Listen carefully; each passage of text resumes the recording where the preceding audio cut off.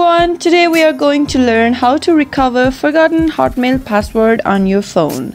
You can either recover your password using any browser or by using the app as well.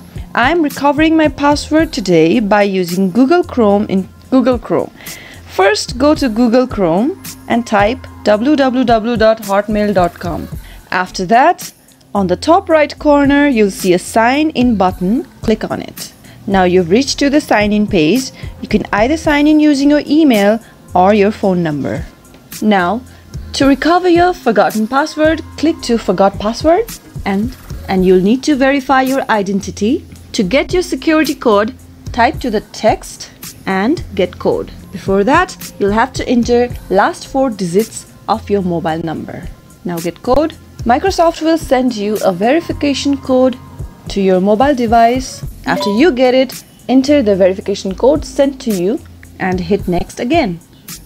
Now enter your new password, type it again to make sure and hit next again.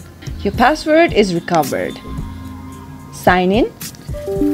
Now you can enter your now you can enter your new password and start connecting. Congratulations, you successfully recovered your forgotten Hotmail password. Hope this was very helpful. Thank you for watching. Don't forget to like, comment and subscribe to our channel. Hit the bell icon for more upcoming tutorials.